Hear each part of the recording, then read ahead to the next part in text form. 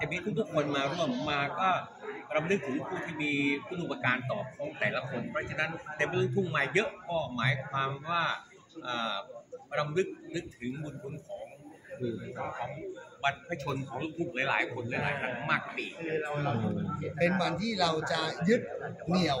เอาเป็นวันที่รำลึกถึงบรรพชนคนลูกทุ่งแล้วก็เป็นวันที่เราจะทำบุญให้กับบรรพชนคนลูกทุ่งและจะเป็นวันที่เราร่วมกันเฉลิมฉลองสนุกสนานไปในตัวด้วยคือมีการร้องรำทำเพลงอะไรก็ว่ากันไป ในวันนั้นหลังจากที่ทำบุญเสร็จสิ้นก็จะเป็นอาจจะเป็นวันหนึ่งที่เป็นมหากรรมเป็นมหากรรมและอ่าจะต้องเป็นวันที่สำคัญต่อไปด้วยแล้วก่อนเราย้อนถามกลับไปหน่อยหนึ่งก่อนที่จะมีคำว่าลูกทุ่งไทยลูกทุ่งเนี่ยก่อนหน้านั้นเพลงต่างๆนานาใช้คำว่าอะไร เพลงไทยสากลอ๋อไม่ไม่ไม่ได้แยกลูกทุ่งลูกกรุงไม่ได้แยกสงสัยกันมานานแล้วใช่ไหมนี่ก็สงสัยคือในอดีต เพลงไทยเล่นกับเครื่องดนตรีไทยต้องต้องต้องต้องต้องต้องเพลงไทยไทยเดิมครับเพลงไทยท้องถิ่น จะเป็นแคนจะเป็นโบสจะเป็นพินจะเป็นซอ เครื่องดนตรีไทยท้องถิ่นครับทั้งหมดเนี่ยพอมาเป็นเพลงลูกทุ่งเนี่ยเขาก็เอาเครื่องดนตรีฝรั่ง มาบรรเลง แต่ใช้เมโลดี้แบบไทยเดิม เมโลดี้เพลงไทยท้องถิ่น เพราะงั้นเขาก็เลยเรียกว่าเพลงไทยใช้เครื่องดนตรีสากล จึงใช้คำว่าเพลงไทยสากลอ๋อใช่ ก็คือจนมามีวันนั้นเป็นวันที่ 11 ที่ทางรายการทีวีมาตั้งชื่อ แล้วก็เลยอ่าเป็นเป็นครั้งแรกที่ใช้คำว่าลูกทุ่งในในการนำเสนอคือคือทีวีนะครับ ก็เลยยึดเอาวันนั้นเป็นเป็นนิมิตหมายที่ดีสำหรับการลูกทุ่งเรา ส่วนรักเอ่อศิลปินต่างๆ ก็เลยเริ่มมีการใช้คำว่าเพลงลูกทุ่งมากขึ้นคือหลัจก ใช้มาตั้งแต่ตอนนั้นใช้มาตั้งแต่ตอนนั้นก็คือเป็นเพลงที่มีเนื้อหากินใจ มีทำนองพื้นบ้านผสมเป็นบางอันตก็รงใช้ไปตรงมาอ่บางอันก็ใช้เครื่องดนตรีท้องถิ่นเครื่องดนตรีไทยผสมกับเครื่องดนตรีสากล ใช่ บางทีก็ใช้เพลงท้องถิ่นมาเป็นเพลงเมโลดี้ตั้งต้น บางทีก็ใช้จังหวะ เช่น จังหวะรำวง จังหวะกลองยาวมาเป็นแกนนึกนำจังหวะดนตรีของต่างประเทศอะไรเอามาใช้ blues ska อะไรก็ว่ากันแล้วก็มาผสมกับดนตรีทำนองท้องถิ่น อย่างครูอย่างเช่นเพลงไทยอีสานลูกทุ่งอีสานทุกอีสานก็จะใช้ทำนองหมอลอ่าำ ซึ่งเมื่อก่อนนี้ก็จะเป็นอินแคนซอร์ใช่ไหมฮะ ใช่เป็นแคนโซโหดโหดโปงลาง โปงลางแต่แต่ตอนหลังก็เอามาผสมกับดนตรีสากลใส่กองยาวมาใส่กองชุดอ่าอ่ามาใส่เบสมาใส่กีตาร์มาใส่เปียโนซึ่งเป็นเครื่องดนตรีฝรั่ง รวมความแล้วคือทำให้มันสนุกสนานโต๊ะขึ้นไปอีกร่วมสมัย เพราะงั้นเพลงลูกทุ่งก็คือ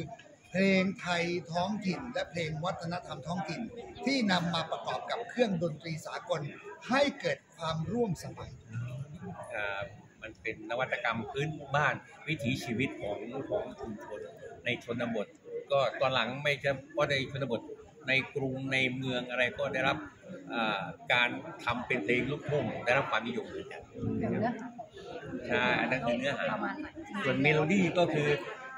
ลูกใช้ความเป็นลูกทุ่งใช้ความง่ายๆ ตรงไปตรงมาพื้นถิ่นมาผสมผสานบ้าง หรือคิดขึ้นเองบ้างตาม แต่คนแต่งที่จะใช้เมโลดี้ของแต่ละนั่นใช้เดิมบ้างก็มีอย่างที่ถามเรื่องเนื้อเพลงเนื้อเพลงมันก็คือ ในอดีตเนี่ยเนื้อเพลงมันคือจดหมายเหตุ จดหมายเหตุคือนำสิ่งที่เกิดขึ้นมาเรียงร้อยเป็นบท เพลงครับเอาสถานการณ์ณวันนั้นเรื่องราวณวันนั้นมาเรียงร้อยเป็นเหตุการณ์เป็นเนื้อเพลงอืมเป็นประวัติศาสตร์นะครับ ใช่ชอบผู้หญิงคนนี้อยู่แถวสมุทรสาคร เธอขายอันนั้น ฉันขายอันนี้มาเจอกันวันหนึ่งเธอจากไปแต่งงานอ่าฉันคิดถึงเธอเหลือเกิน เป็นเหตุการณ์ทำให้เรารู้อ๋อสมัยนั้น มันมีร้านค้ามีตลาดอยู่ตรงนั้น มันมีรถไฟวิ่งนะ คิดถึงต้องเขียนจดหมายนะ โทรศัพท์ไม่มีมือถือต้องไปรอเขารับสายตามนัดเวลาทุกอย่างเป็นจดหมายเหตุเป็นเรื่องเล่าเพลงสมัยนี้ก็ยังเป็นจดหมายเหตุ จะมีเรื่องมือถือเข้ามาเกี่ยวข้องมีเรื่องเฟซบุ๊กมีเรื่องก็เป็นจดหมายเหตุครับล้วนแล้วแต่บันทึกเหตุการณ์ต่างๆเป็นเรื่องราวเป็นประวัติศาสตร์อย่างที่ว่าเป็นชื่อคนอย่างเพลงติ๋มเพลงไมาเพลงน้องเมย์เพลงอ่าอ่าไข่นุ้ยอะไรอย่างงี้ก็เอาชื่อคนมาเขียนเป็นเพลงก็เป็นเพลงเหมือนกัน หมายถึงว่ามันก็เป็นเรื่องราวของ ระหว่างผู้หญิงกับผู้ชายหนุ่มกับสาวอะไรอย่างเงี้ยนะครับเป็นใช่เป็นเป็นเป็นวิถีชีวิต บางทีก็เป็นประวัติศาสตร์แล้วว่าถ้าเป็นช่วงเวลานั้นอาจจะเล่าถึงอะไรใช่บางทีเราไปเราสืบประวัติศาสตร์จากเนื้อเพลงสมัยก่อนได้ใช่ต้องเรื่องราวเรื่องราวที่เกิดขึ้นอย่างพระพระธาตุพนมล้มอะไรอย่างงี้ก็ก็ก็มีเพลงมีเรื่องใช่ไหมล่ะอยากครับแม้แต่ฤดูกาลเห็นไหมเราจำได้เลยว่าฝนจะตกเดือนไหนอะเดือนหกอะเพราะอะไร กบมันร้องกายางเข้าเดือนหกเออเนี่ยย่างเขาเดือนห้ามันยังไม่เออไม่ตกยังไม่ตกดังอย่างมันดังเป็นเรื่องดังนั้นหน้าฝนต้องมิถุนาแล้วเลยเพราะว่ามันเป็นเรื่องราวที่เราเข้าใจอะนะนั่นคืออย่างเพลงแต่ว่าสมัยนี้ก็มีแบบซองให้เราอย่างนี้ยังเป็นอย่างลูกทุ่งไหมคะหรือว่าแยกเป็นประเภทลูกทุ่งเหมือนกันมันมีมานานอย่าว่าแต่สมัยนี้สองแง่สองงามสมัยก่อนมันก็มีสองแง่สองงาม ในสังคมล้วนแล้วแต่มีกลุ่มคนที่แตกแต่ว่าคนแต่งจะมีศิลปะในการเขียนตรงเนี้ยสองงามไหมเออในลูกทุ่งสมัยก่อนนี่ก็มีศิลปะมากลูกทุ่งอย่างพวกผมถ้าเขียนก็เขียนแบบศิลปะ ถ้าแต่เด็กรุ่นใหม่เขาไม่เขาไม่ค่อยศิลปะกับเราสักก็เท่าไหร่ก็เขาชอบชัดตเจรนงๆอ่าชอบเด็กตเด็กรรุ่งนใหม่เขาชัดเจนแต่มันก็เป็นเป็นความอยากจะแสดงอยากจะนำเสนอของเขาเราก็จะไปพูดอะไรมากๆเพราะฉะนั้นลูกทุ่งประกอบไปด้วย ท่วงทำนองของความเป็นไทยผสมผสานกับดนตรีสากลและเครื่องดนตรีที่ร่วมสมัย จากบทเพลงและบทความที่มาจากเนื้อหาสาระที่เกิดขึ้นจริงในสังคมในการเล่าเรื่องแบบกึ่งจดหมายเหตุกึ่งเล่าเรื่องกึ่งถ่ายทอดอารมณ์กึ่งประชดประชันมีหลากหลายรูปแบบ แล้วแต่ผู้แต่งจะกำหนดออกไปอย่างถ้าเป็นถ้าเป็นครูแต่งส่วนใหญ่แต่งแนวไหนทุกแนวครับ เพราะว่าเห็นเยอะจนจนไม่รู้ว่าแนวไหนทุกแนวทุกแนวประมาณอย่างนั้นครับครับผมอันนั้นมองอะไรก็เรียกว่าวงการเพลงลูกทุ่งณปัจจุบันนี้ครับ มันจะไปทิศทางไหนยังไงอะไรยังไงบ้างครับหลายคนก็กังวลในเรื่องที่ทางเอ่อดนตรีลูกทุ่งจริงๆดนตรีลูกทุ่งก็เหมือนดนตรีทุกชนิดมีขึ้นมีลง มีทั้งเพลงดังและเพลงไม่ดัง บางช่วงก็ฮิตบางช่วงก็สาย เหมือนกับทุกเพลงหมอลำบางช่วงเขาก็พีคหมอลำบางช่วงก็เบาก็กลับมาช่วงนี้หมอลำเขาก็มาแรงช่วงนี้ลูกทุ่งเราทรงๆนะครับลูกทุ่งเราทรงๆแต่ว่าหมอลำถ้าเป็นวงเนี่ยงานเขาเยอะเลยเรียกว่าเขาพีคแล้วก็เด็กใหม่ๆ อย่างทำพวกอินดี้พวกอะไรนี้เป็นเฉพาะตัวของเขาออกมาเป็นซิงเกอร์ใครซิงเกอร์มัน แล้วบางทีก็ทำได้ เขามีกระแสเป็นป่าล้อมเมือง ถูกใจคนฟัง ถูกใจวัยรุ่น เขาก็ประสบความสำเร็จไป ก็ต้องบอกว่าเขาเป็นนวัตกรรมของคนรุ่นใหม่